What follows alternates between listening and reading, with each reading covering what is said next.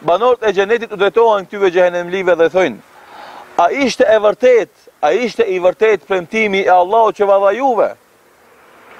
Se na e gjetëm të vërtetë premtimin e Allahut për ne.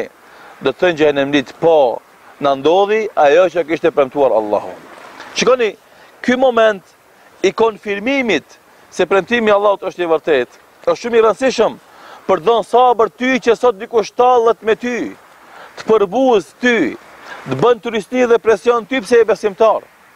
Po, kemi nga tri dhe treja që shokët e tyre tallen me ta pse falin namazin.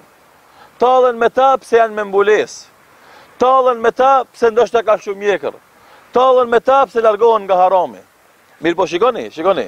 Edhe tani në dunja fillon respekti dhe nderimi. Për shembull, momentet e fundit lojtarë të ndryshëm, sportistë të ndryshëm muslimanë kur krenohen me islamin e tyre, me namazin e tyre, me largimin nga alkooli, gjithë mediat e bëjnë top temë.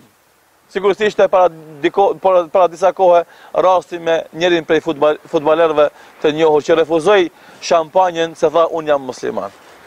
Do thotë, edhe bota sot e respekton bindjen, edhe fenë e njeriut, pse është kur të ka dinjitet, kur të është njeri domethënë krenar me besimin e vet, jo sikurse ndodh me disa njerëz tanë, politikanë e intelektualë e njerëz të thjeshtë, nga kompleksi i inferioritetit dhe mosnjohja e fesë, kanë frikë të flasin për gjërat e fesë.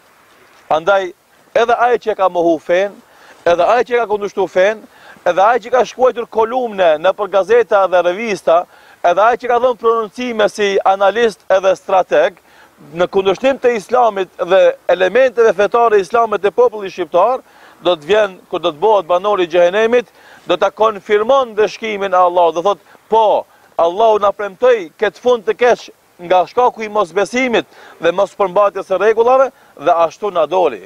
Si ishte premtimi, ashtu edhe ndodhi e vërteta.